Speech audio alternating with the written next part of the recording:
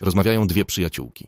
Kochana, ale dlaczego ty tak narzekasz na tę pozycję 69? E, tam. To dlatego, że on jak zwykle po wszystkim zasypia, a ja znowu mam rano wory pod oczami.